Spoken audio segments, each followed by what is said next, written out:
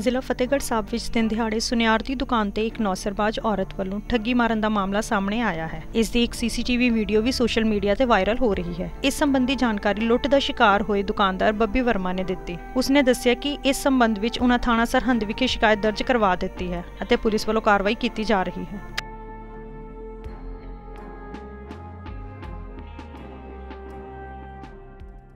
ਮੇਰਾ ਜੀ ਬੱਬੀ ਵਰਮਾ ਜੀ। ਕਿਹੜੀ ਦੁਕਾਨ ਆਪਣੀ? ਕਿਹੜੀ ਦੁਕਾਨ ਵੱਜਦੀ ਹੈ? ਮੇਰੀ ਜੀ ਅਹ, ਖਾਲਸਾ ਹਾਈ ਸਕੂਲ ਦੇ ਬਿਲਕੁਲ ਸਾਹਮਣੇ ਸੁਰਿੰਦਰ ਜਵੈਲਰੀ।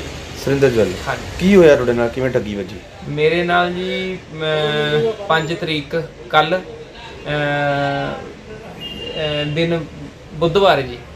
ਮੇਰੇ ਕੋਲ ਦੁਪਹਿਰੇ 2 ਵਜੇ ਜੀ ਇੱਕ ਕਸਟਮਰ ਆਇਆ। ਮੈਨੂੰ ਕਹਿੰਦੇ ਵੀ ਵਾਲੀਆਂ ਦਿਖਾ ਦੇ। ਮੈਨੂੰ ਹਲਕੀਆਂ ਤੋਂ ਹਲਕੀਆਂ। ਕੀ ਕਿੰਨੀ ਕੁ ਉਮਰ ਸੀ? ਕੌਣ ਸੀ? ਲੇਡੀ ਸੀ? ਉਮਰ ਸੀ ਜੀ 50 ਤੋਂ 55 ਸਾਲ ਉਮਰ ਸੀ ਜੀ। ਤੇ ਕਹਿੰਦੀ ਮੈਂ ਆਪਣੀ ਬੇਟੀ ਨੂੰ ਲੈ ਕੇ ਦੇਣੀਆਂ ਨੇ ਵਾਲੀਆਂ ਲੇਡੀ ਸੀ ਕੋਈ? ਲੇਡੀ ਸੀਗੀ ਜੀ। ਅੱਛਾ ਜੀ। ਤੇ ਮੈਂ ਉਹਨੂੰ ਜੋੜੇ ਦਿਖਾਏ ਜੀ। ਜੋੜੇ ਦੇਖਦੇ ਦੇਖਦੇ ਉਹ, ਅਹ, ਦੋ ਉਂਗਲੀਆਂ 'ਚ ਅਹ, ਦੋ ਜੋੜੇ ਚੱਕਦੀ ਸੀ। ਦੇਖਣ ਨੂੰ ਮੈਨੂੰ ਇੱਕ ਲੱਗਦਾ ਸੀ ਉਹ ਇੱਕ ਦੂਸਰੇ ਹੱਥ 'ਚ ਸਿੱਟ ਲੈਂਦੇ ਸੀ। ਇਸ ਤਰ੍ਹਾਂ ਉਹਨੇ ਦੋ ਵਾਰੀ ਕੀਤਾ ਜੀ। ਮੇਰੇ ਤਿੰਨ ਜੋੜੇ ਲਗਭਗ ਉਹ ਲੈ ਗਈ ਜੀ। ਕਿੰਨੇ ਕਿਤੇ ਤੁਹਾਡਾ ਸਮਾਨ ਸੀ ਸਾਰਾ ਉਹ? ਮੇਰਾ ਤੋਲੇ ਤੋਂ ਸਵਾ ਤੋਲਾ weight ਸੀ ਜੀ। ਤਿੰਨ। ਚੀਜ਼ਾਂ ਦਾ ਹਾਂਜੀ। ਕਿੰਨੀ ਕੁ ਕੀਮਤ ਬਣਦੀ ਸੀ ਇਹਦੀ ਹੁਣ ਜੇ?